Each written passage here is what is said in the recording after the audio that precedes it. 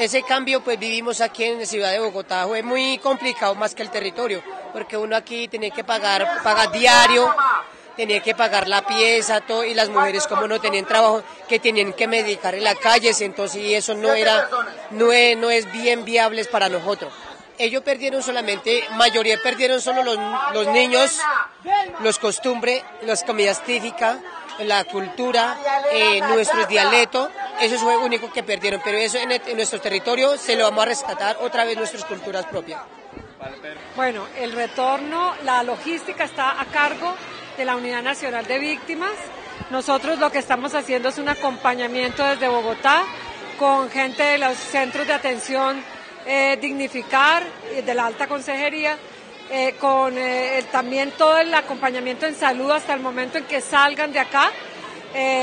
Eh, vamos a aportar también en un proyecto productivo y vamos a aportar en vivienda. La logística de la salida está a cargo de la Unidad Nacional que tiene que ver con comida, camiones para el trasteo de todas las cosas que ellos tenían, el refrigerios durante el trayecto, acompañamiento cuando lleguen hasta los resguardos.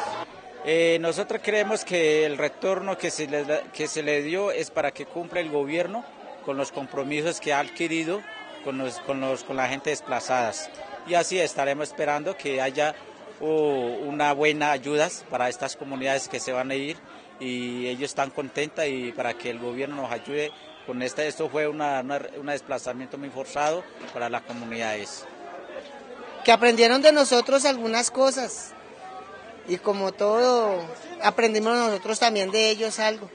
O sea, nos llevamos, se lleva, nos llevamos, nos, perdón, cultura de ellos tenemos un poquito y ellos se llevan un poco de nuestra cultura también.